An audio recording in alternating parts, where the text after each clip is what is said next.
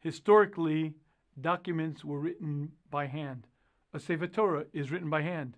The Declaration of Independence was written by hand. In the 1850s, you paid a scribe per hundred words to write a document because everything had to be written at a very slow pace.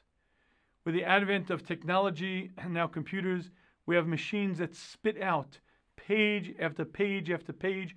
You can now do not a hundred words a minute, not thousands of words a minute. You could print out an entire book in 10 minutes, thousands and thousands and thousands of words, unending. And what this shows us is an interesting change that technology has brought. It used to be very difficult to communicate, to put words out.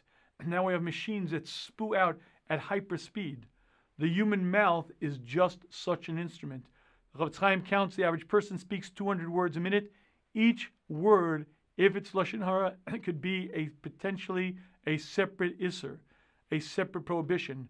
Meaning to say, as the clock ticks and my tongue wags, one after another after another, 200 a minute, multiply a minute times an hour, and before you know it, I could be racking up huge, huge amounts of prohibitions. Much like a machine that could spew forth at tremendous speeds, the human mouth is such a machine. Unless you learn to guard it, unless you learn to watch it, it could do a tremendous amount of damage.